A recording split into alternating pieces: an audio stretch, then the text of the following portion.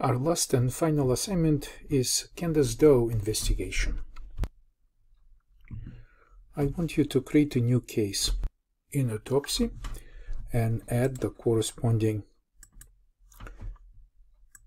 file uh, data source uh, which is uh, located uh, inside this uh, zip file just download it and add it as data source uh, based on the case brief that you should read carefully decide which of autopsy ingest modules you want to execute and carefully examine the results um, of the module processing and start searching for evidence according to the case information that uh, you have in your case brief.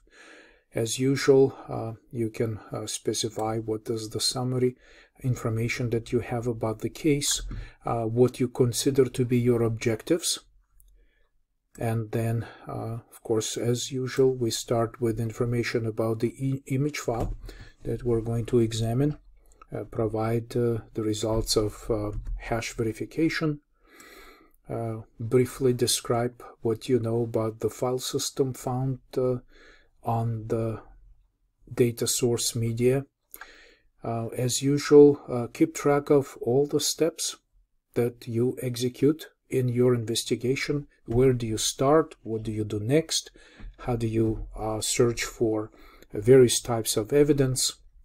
Just uh, keep, uh, this is like your journal. Your just keep keep note of every step that you make, and uh, detailed steps are needed to be able to reproduce these steps in case if you have to uh, demonstrate uh, your skills and what you did in a later testimony or in general if you want to share your knowledge about the case uh, with colleagues and your teammates.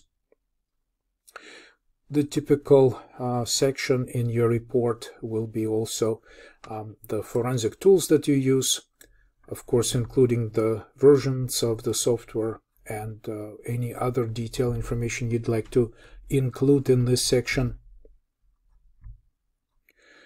So in general, describe uh, steps taken to investigate the contents of the image. It's mostly, this is initial um, initial stages of your investigation.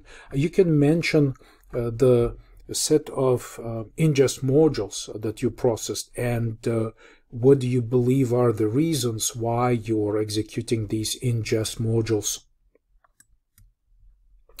As you begin to find evidence, uh, keep track of the files you can specify locations, uh, you can specify the starting sectors um, of your files, uh, or just at, at a minimum, just keep a list of uh, files that uh, you consider to be uh, potential important uh, findings in this case. If you decide to extract the information and look at uh, relevant information uh, in external software, make sure that once again you mention the software that you're using and uh, describe in general your activities outside of autopsy, if that's your case.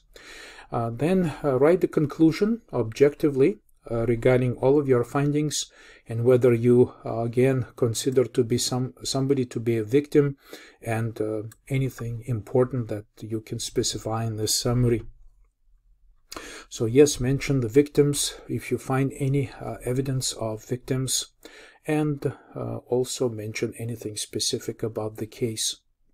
So consider this is our final project, uh, so you can uh, save your changes periodically and submit for grading when uh, your investigation is complete.